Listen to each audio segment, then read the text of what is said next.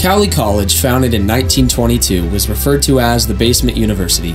With passion to lead and vision to achieve, Cowley College has pioneered more than 95 programs, including online learning throughout the U.S. and five locations in south central Kansas. Cowley Tigers are connected to a bright future with strong traditions. We are supported by our community, making memories throughout our journey.